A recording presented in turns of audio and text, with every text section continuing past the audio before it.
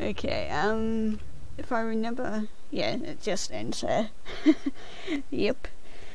Because both of those endings were actually in the, um, actual original one, so that is kind of like different. Like, if you saw it, I was like trying to figure out the puzzle because I thought that might actually do something.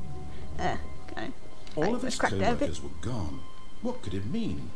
Stanley decided to go to the meeting room. Perhaps Shut he had up, I'm trying to talk. memo. it's actually interesting because they actually had like different puzzles there. I was like, hold on, maybe there there is like a puzzle I can actually solve here. So it's like randomly going around pressing buttons. Because yeah, like they had all the different colours. Well, I was thinking, hmm, maybe I can try something here. Yeah, um, basically I'll just cut to when I get to one of the um other ones. When Stan coming to a staircase, Stanley walked upstairs to his boss's office. Okay, so going up, we're going down. We shall see what happens. Was there? Yeah, nothing behind the stairs. Ooh, car. But Stanley just that? couldn't do it. He considered the possibility of facing his boss, admitting he had left his post during work hours. He might be fired for that. And in such a competitive economy, why had he taken that risk? All because he believed everyone had vanished. His boss would think he was crazy. And then something occurred to Stanley. Maybe, he thought to himself, maybe I am crazy. Yeah, well, All of my thing's looping, so, yeah. mysteriously out of existence in a single moment for no reason at all. None of it made any logical sense.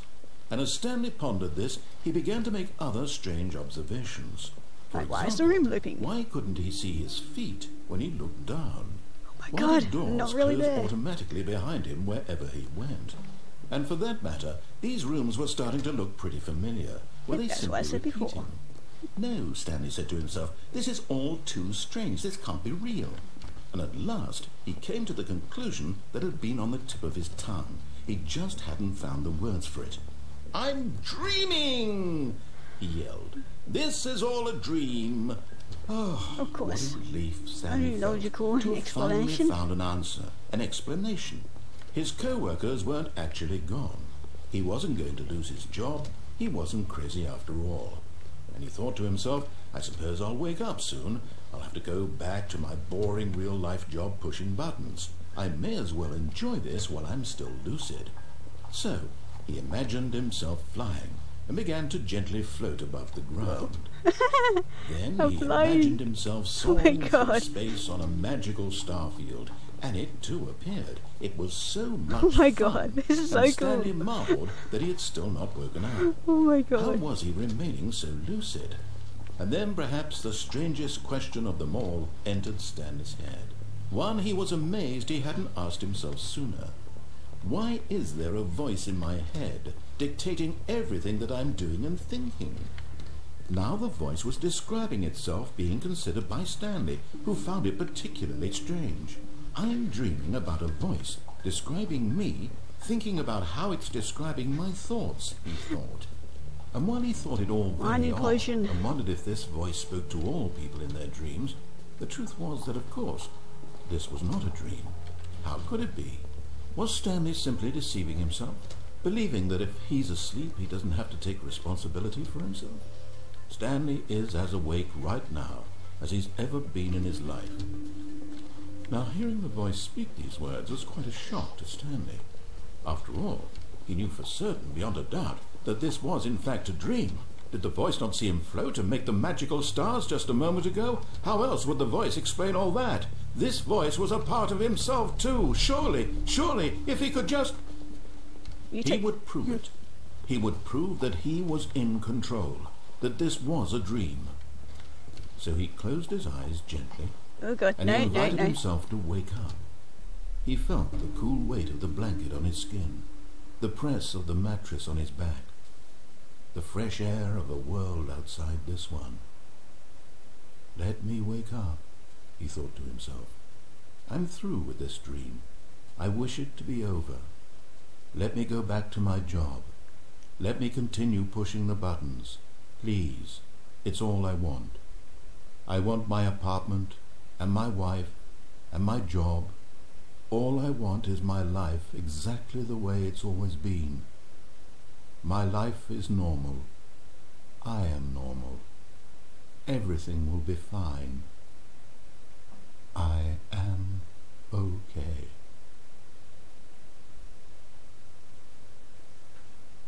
Nope, still here. of course. Stanley began screaming. Please, someone, wake me up. My name is Stanley. I have a boss. I have an office. I am real. Please, just someone tell me I am real. I must be real. I must be. Can anyone hear my voice? Who am I? Who am I? I explode. And everything went black. Yep. I exploded from anger. This is the story of a woman named Mariella. Of course. Like, Mariella kind of woke up one on by a one. day like any other. She arose, got dressed, gathered her belongings, and walked to her place of work. But on this particular day, her walk was interrupted by the body of a man who had stumbled through town talking and screaming to himself, and then collapsed dead on the sidewalk. And although she would soon turn to go call for an ambulance, for just a few brief moments she considered the strange man. He was obviously crazy. This much she knew. Everyone knows what crazy people look like. And in that moment, she thought to herself how lucky she was to be normal. I am sane. I am in control of my mind. I know what is real and what isn't. It was comforting to think this, and in a certain way, seeing this man made her feel better. But then she remembered the meeting she had scheduled for that day, the very important people whose impressions of her would affect her career, and by extension, the rest of her life. She had no time for this, so it was only a moment that she stood there, staring down at the body. And then she turned and ran. And that is another ending. I love this game. Like it's the best endings.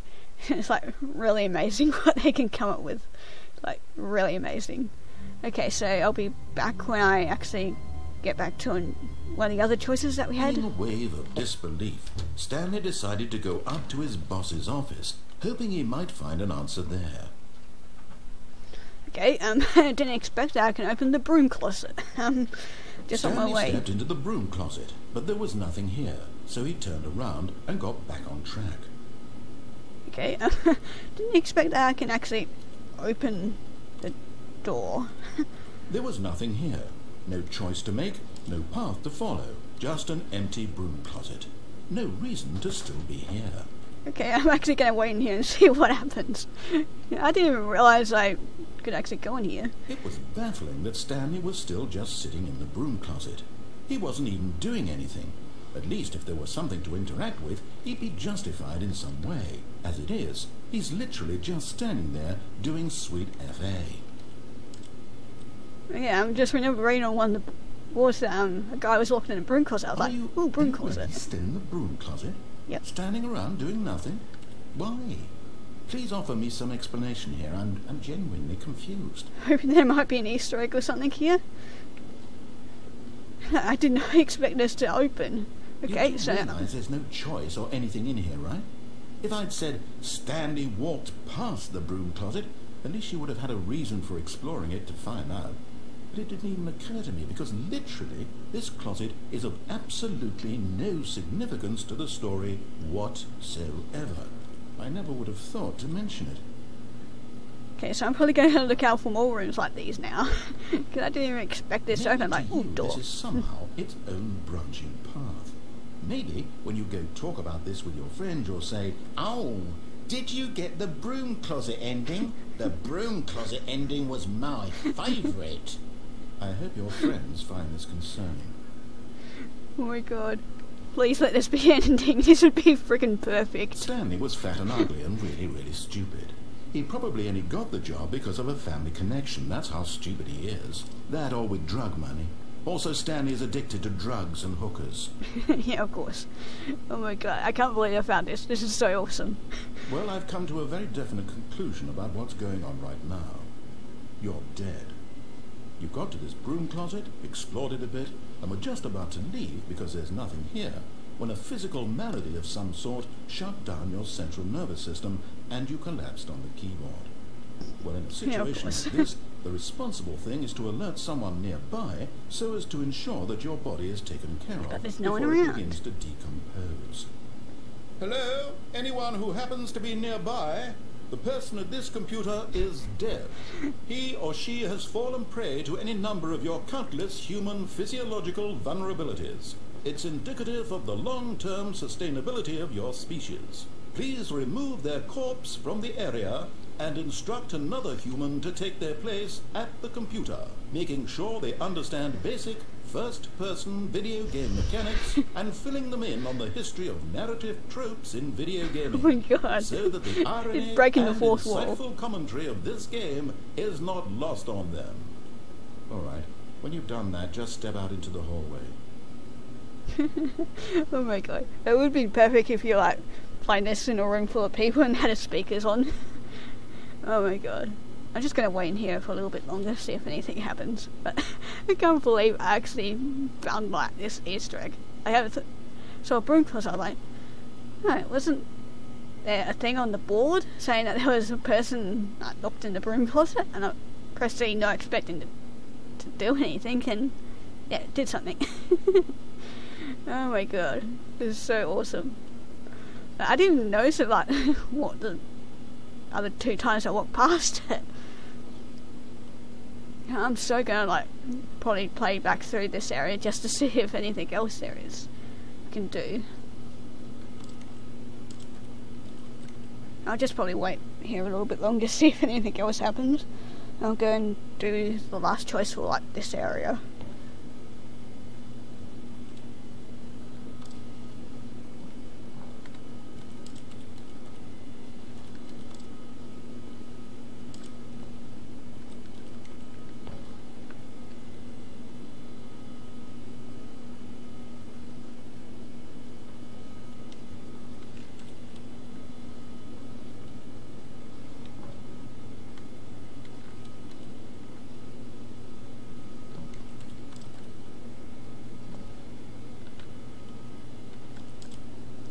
Okay, guessing nothing else Ah, happens. second player. It's good to have you on board. No. I guarantee you can't do any worse than the person who came before you. Okay. I'm just gonna go in here and see if anything else happens. You too? Unbelievable. I'm at the mercy of an entire species of invalids. Perhaps there's a monkey nearby you can hand the controls to. A fish? Fungus? Oh my god, Look, this is you can awesome. hammer out the details. I'm not particularly picky. I'll just be waiting for when you're ready to pick up the story again. Oh my god, this is freaking awesome. I love this. Oh my god. This is too freaking awesome. I love this broom closet. I don't live in here. oh my god. Stanley was once again stunned to discover not an indication of any human life. What could it mean? Stanley wondered. Stanley was in such a rush to get through the story as quickly as possible, he didn't even have a single minute to just let the narrator talk. That oh kind Oh of my God, anxiety I'm sorry, narrator. So he relaxed for a few moments with some calming new age music. Yeah, I didn't even ex- this game is just freaking awesome. oh my god. At first the broom closet, and I just wanted to press that button and get through it. Feeling soothed Oh and God. rejuvenated, Stanley calmly walked forward into the opened passageway. okay. Oh my god, I freaking love this game. Man, this game is so freaking awesome. Door Um, that read Mind Control Facility. Okay, we're going down this way this time. Although this passageway had the word escape written on it, the truth was that at the end of this hall, Stanley would meet his violent death. Of course. I just love this game. It's so freaking awesome. The door behind him was not shut. Stanley still had every opportunity to turn around and get back on track.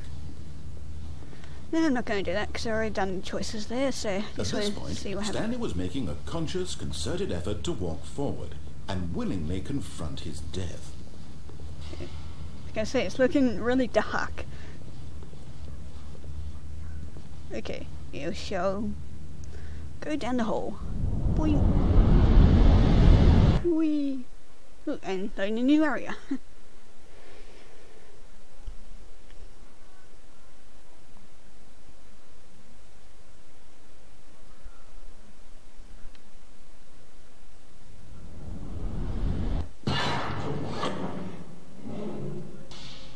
some reason, like parts of this is reminding me of Portal.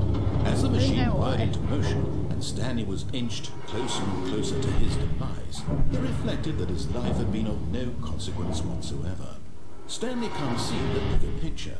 He doesn't know the real story, trapped forever in his narrow vision of what this world is.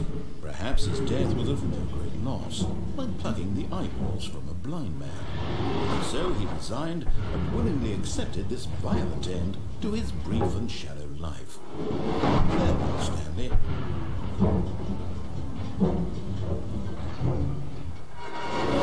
Stops. Farewell, Stanley, cried the narrator, as Stanley was led helplessly into the enormous metal jaws.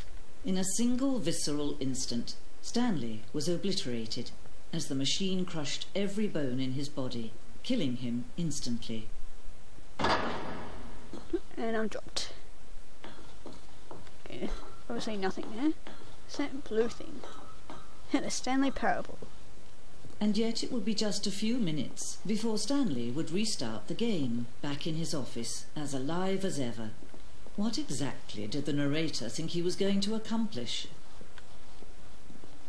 Ooh, pretty white room. When every path you can walk has been created for you long in advance, death becomes meaningless, making life the same. Do you see now? Do you see that Stanley was already dead from the moment he hit start? Oh my god, this is so cool. It's like all the models and stuff that they use. Oh my god, this is so cool. Okay, the two doors there. Set two open doors was the very first concrete piece of the Stanley Parable design. Once this room was created, the rest of the game emerged as an extension of it. An exploration of the contradiction this room posed. This is actually kind of cool. This is like an extra little thing. Oh, is this actually telling us like different pathways or no this is just us when we get to the two doors on and we just read that one. So it was this one. Corridor. Pacing of the opening section was important to get right. The corridor has been moved and altered to make sure the player reaches the two doors in a good time. So basically he reaches there before, after the narrator finishes speaking. Okay, office layout. Blueprint shows the office from the beginning of the game. Path from Stanley's office to the two doors was the first part of the game that was built. That was built. Sections have been added and altered throughout development through the core layout that remains almost identical to the first um, iteration. Okay, and this is actually kind of cool. Okay, then we got some doors. Um, what's this? The buttons. A selection of sounds throughout the game when buttons are pressed. Each sound is a mix of keyboard stroke and synthesized tone. Yeah, I noticed that when the buttons are different sounds. Okay, these are the credits. Like all the people who made it. Kind of interesting. Okay, I'm guessing that's everything I've looked down this room. Okay, moving on. Ooh. Boss's office. So that's like all the different like layers in that. And this is actually really interesting. Okay, office clock. Ooh, actually ticks. Hmm, interesting. What's this way? This is basically to similar area. Oh, and there's one going up, and then there's another one going down here. On, I shall save it. Okay, you save. Get to save. Yep. Okay, we shall resume. okay, underground. Okay, that was like an earlier version. That's interesting. Okay. Ah, oh, an employee lounge. it's cool. What's down here? Narration outtakes.